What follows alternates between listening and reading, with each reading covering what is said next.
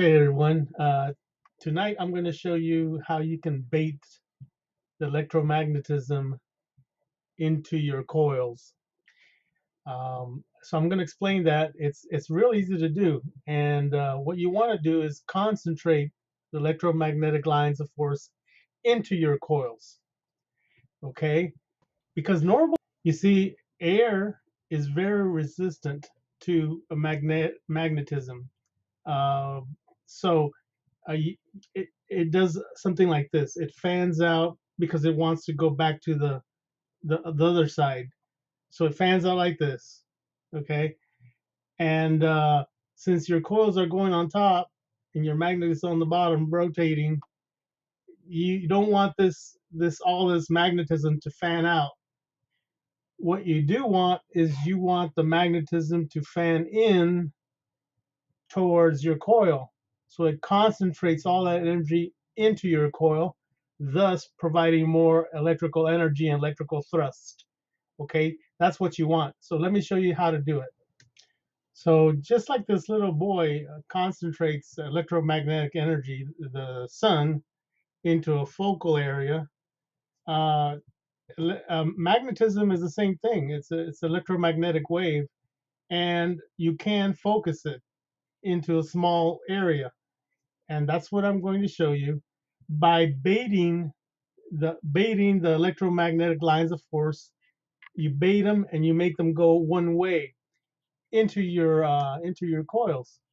So uh, so when you bait the magnetic lines of force, they're going to concentrate in a small area, hopefully right through your uh, coils. You see, and it's going to give you uh, more push uh, so if you have the north magnet and the south magnet coming along your coils, you're going to have one pushing and one pulling like this at the same time. So that's why you want to concentrate the, the magnetism into, into that focal area of your coils.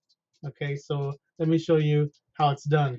So normally you have this situation going on up here.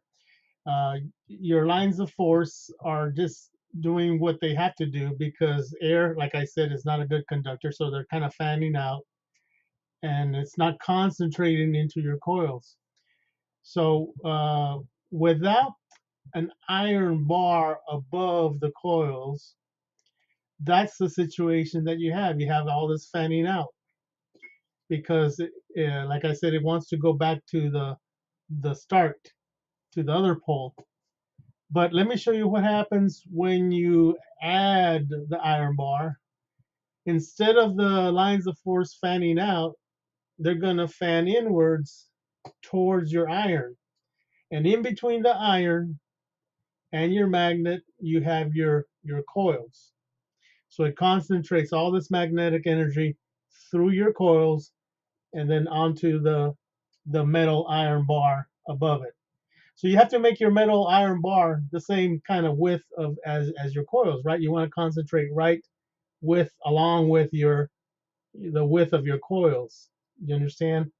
That's that's how you that's how you go about it. That's how you concentrate these lines in that path. By doing uh, this method of baiting, uh, you're you're going to be a happy camper because uh, you will have caught the the fish so you got to think logically. You have to bait it, bait the magnetism so it comes to you. Look at the kid. He's smiling. Another kid, he didn't bait it, so he's not smiling. okay, see you guys. Thank you.